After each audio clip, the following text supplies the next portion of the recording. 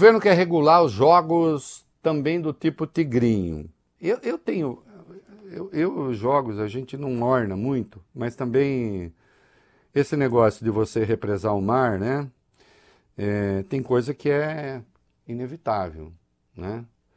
É, porque se você não regulamenta, vai acontecer. Vamos lá, eu já falo já, vamos. vamos o ver. governo federal acredita que o jogo do tigrinho, né?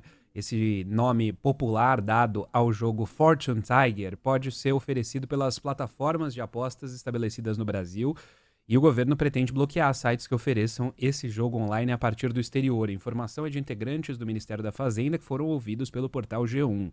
Na visão dessas fontes, a lei que trata das apostas esportivas abriu a possibilidade de as plataformas oferecerem jogos online, como esse do Tigrinho, definidos como aqueles em que a cota fixa, ou seja, o apostador sabe quanto vai ganhar, depender de quanto apostar e do resultado, e B, em que o resultado é determinado de forma aleatória a partir de um gerador randômico de números, símbolos, figuras ou objetos. Isso, e aí o governo, qualquer regulação de jogo, né, é, segundo aquilo que o governo definiu, é, a empresa tem que estar sediada no país, tem que ter a certificação e tem que ter uma abertura de domínio bet.br. E tem mais alguma coisa aí sobre a lei dos jogos, eu já vou falar dos jogos como um todo, tá? Porque é, é Precisa tomar muito cuidado com isso de várias maneiras. Vamos lá, vai. Para validar quais, quais jogos atendem a essas condições, a lei das bets previu que todos os jogos passem por certificação de empresas credenciadas pelo Ministério da Fazenda. As empresas de aposta serão obrigadas a identificar, qualificar e classificar risco de usuários da plataforma e comunicar apostas suspeitas ao Conselho de Controle de Atividades Financeiras. As obrigações foram determinadas em uma portaria do Ministério da Fazenda publicada nesta sexta-feira no Diário Oficial da União.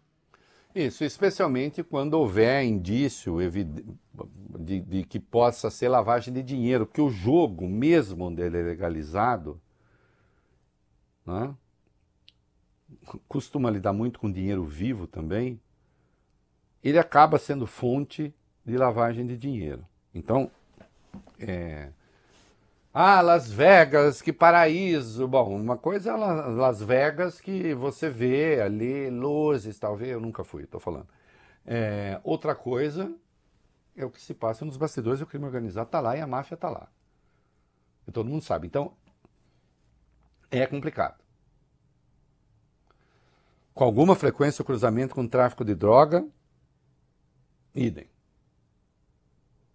Então, e aí há, e isso já pode ser verificado desde já com quem faz isso via internet, os mecanismos cerebrais ligados à ideia de jogo são muito parecidos com os da droga.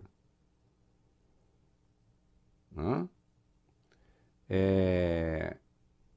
Essa ideia do, da aposta e da recompensa, e a busca da recompensa, a expectativa dela, é um negócio que pode devastar pessoas. Há pessoas que são viciadas literalmente em jogos, elas são dependentes. Hum? Então, desde o cuidado que precisa ter para inclusive manter jovens longe desse negócio, e eu sei que é muito difícil, especialmente quando é internet, né? até é, o extremo, a extrema vigilância para evitar o cruzamento desse tipo de coisa com o crime organizado, aí todo cuidado é pouco. Né? Seja nos jogos de internet, seja quando, quando e se houver a legalização dos jogos de maneira mais geral, que é uma coisa que tende a acontecer. Né? E aí tem gente que está muito contra e está contra até por maus motivos, né? Porque está com medo de que o jogo vá concorrer com certas atividades aí de algumas pessoas que vivem alugando o céu para os outros, entrega que jamais poderá fazer, né?